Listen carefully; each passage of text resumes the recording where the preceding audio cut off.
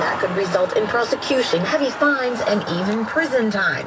Before you download a